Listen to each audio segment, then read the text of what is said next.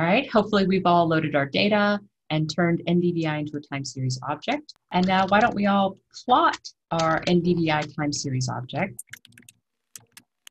Let's label equal here, I label equal greenness, name equal NDVI. Let's run that. Oops, and let's add that mean line data. So obviously there's some big differences between white noise data set, which is here, and the NDVI data set, which is here. And so let's think for a moment about what are some of the things that make a biological data set really different from how a randomly generated time series like the white noise is generated. A good starting point is to think about what we learned about NDVI from last week. So one of the big things we learned about NDVI is that there's this really strong seasonal signal in our data. And of course, one of the things about seasonality is that you have series of months that have uh, very similar values. And if we look at the NDVI signal here, well, we can start to see that where we have a month here that's really high, but then the months on either side, and it's hard to see because we don't have the data points, but the months on either side are also going to be elevated above the mean. Um, this is not a system that goes from bare dirt, peak greenness to bare dirt in single month steps. What you have is this relationship between adjacent time points so that they share kind of a, a common a, a common value or an elevated state together. And that is one of the key things that is missing from, of course, the random draw. And that's why you get this very sharp going back and forth, back and forth across the mean. Because in the random draw, what you can get very much is going from bare dirt to peak greenness to bare dirt, all in three time steps. But one of the things this means for a biological data set is that our time points aren't independent. Um, so in a random draw, each one of those time points is independent. The value at time t does not depend on the value that, that came in the time step before. But in biology, often our value at time t has some relationship, is a function of some sort of any a value that came in the period time period before. So if we think about populations, the number of individuals in our population in our last measurement is likely to have ha- be having influence or determine how many individuals we'll see in our next time step, just like we see with our greenness index. One of the things that we can do is use something called a lag plot to figure out how many different time steps can you see this dependence between the observation at one time point and the observation of another time point.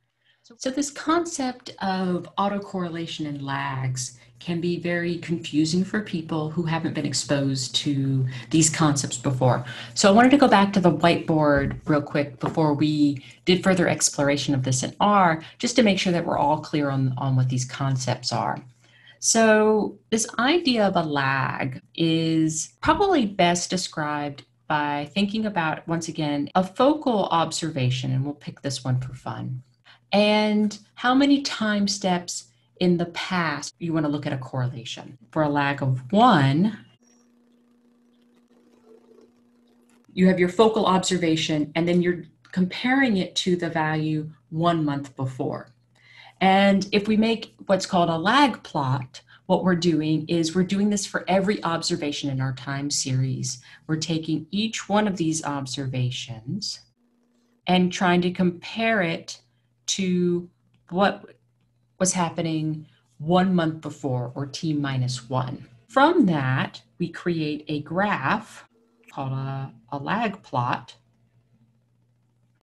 where we can look at the correlation or the relationship between the value at time t and the value at time t minus one.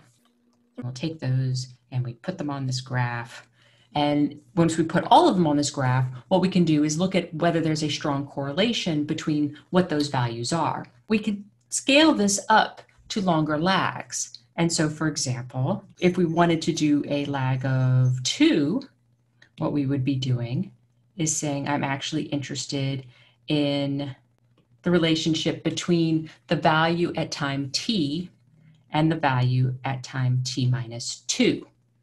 And we can do this going further and further and further and back in time.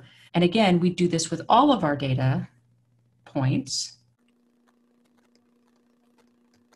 And then we plot those values of time t versus the value now at t minus 2 our expectation, of course, is that the further we go back in time, the less correlation we should be seeing between what's happening at any any observation that we pick and something that happened in the past. This correlation between data points within your time series is called autocorrelation.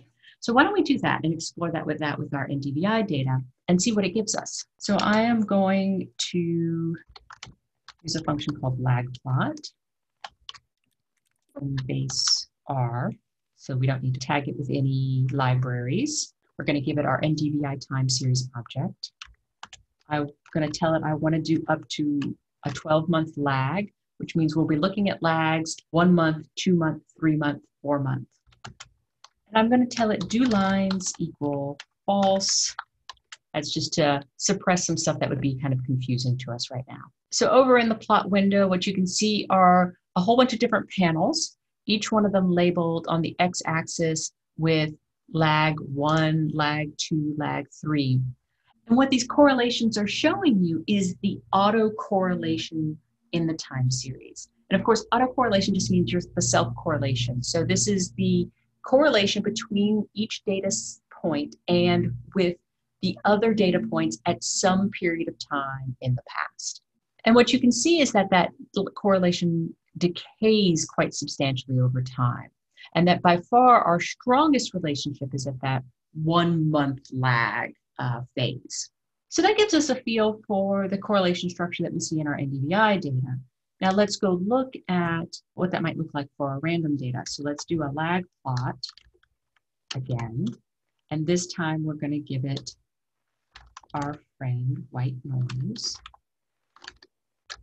and we'll do lags equal 12 again, and we'll turn off that do line. Oops. Run. And so this is what I was talking about when we're talking about random draws having no relationship to each other. They're completely independent. And you see that in all of these graphs. And looking at these graphs actually make the ones uh, for NDVI look not so bad. So let's go look like there's still a structure in there that is with the NDVI data that is completely lacking for the random data.